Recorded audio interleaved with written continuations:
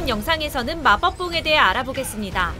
마법봉은 다양한 저주 스킬로 적을 약화시키고 치유 스킬과 방어 증가 스킬로 아군을 지원하는 전투가 특징입니다.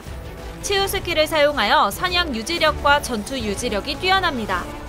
혼돈의 보호막은 스태미나를 소모하여 적의 공격을 방어할 수 있는 스킬입니다. 격노 공격을 방어하면 대상에게 절망의 손길 효과를 부여하고 자신이 보유한 저주 스킬의 남은 재사용 대기 시간을 감소시킵니다. 또한 일정 시간 내에 격노 공격을 방어하면 주변 파티원들의 스태미나를 회복합니다.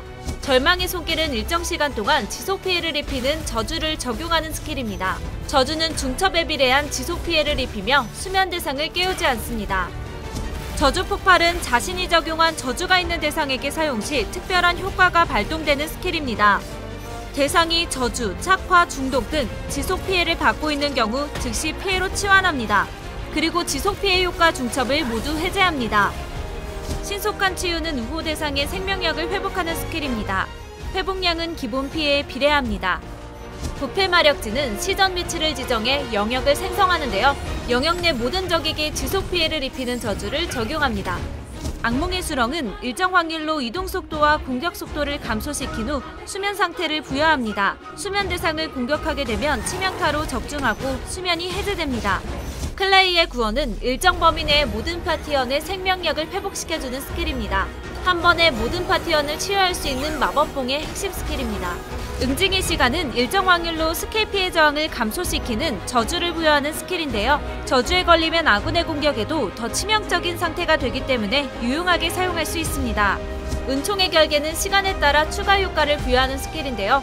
사용 시 방어를 대폭 증가시켜주며 낮에는 받는 스킬 회복량을 밤에는 인내력을 추가로 증가시켜줍니다. 그리고 발동 후 잠시 동안 효과량이 3배로 높게 적용됩니다.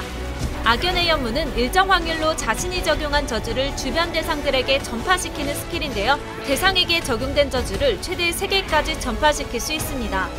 재앙의 광선은 방향을 지정하여 사거리 내 모든 적을 지속 공격하는 스킬입니다. 수면 상태인 적을 공격해도 깨어나지 않고 이동 시 스킬이 종료됩니다. 활성 스킬은 quick slot에 등록만 해두면 별도로 사용하지 않아도 상시 적용되는 스킬입니다. 마법봉의 전투 스타일과 어울리는 효과들을 가지고 있습니다.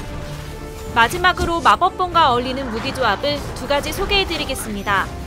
마법봉의 응징의 시간으로 스킬 피해 저항을 감소시킨 후 악몽의 수렁으로 수면을 적용합니다. 동시에 악연의 연무로 주변 대상에게도 전파시키고 지옥불 운석과 폭염의 파장으로 한 번에 제압할 수 있습니다. 다음은 마법봉과 석궁의 조합입니다.